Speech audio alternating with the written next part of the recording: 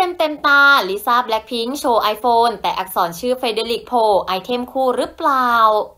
ทำเอาชาวเน็ตตาลุกวาวอีกแล้วหลังลิซ่าแบล็คพิงค์หรือลิซ่าลลิสามโนบาล ที่ได้เปิดภาพความทรงจำร่วมเฟรมคู่กับตัวแม่แห่งวงการเพลงระดับโลกรีฮันนาและอีกภาพเป็นภาพที่ถ่ายร่วมกับทีมแดนเซอร์ แต่นอกจากภาพสุดประทับใจแล้ว ชาวเน็ตยังตาดีไปสังเกตเห็นว่า ภาพเคส iPhone ที่มือลิซ่าถือนั้น ที่ด้านหลังเคส iPhone ปรากฏตัวอักษรย่อ FA ซึ่งปกติแล้วลิซ่ามักจะถ่ายรูปเซลฟี่หน้ากระจกเป็นประจำแต่ทุกครั้งจะใช้นิ้วปิดบริเวณหลังเคสซึ่งก็มีการสกรีนอักษรเอาไว้รวมถึงรูปลักษณ์ของเคสดังกล่าว ก็ดันคล้ายกับหนุ่มในข่าวอย่างเฟเดริกอาร์โน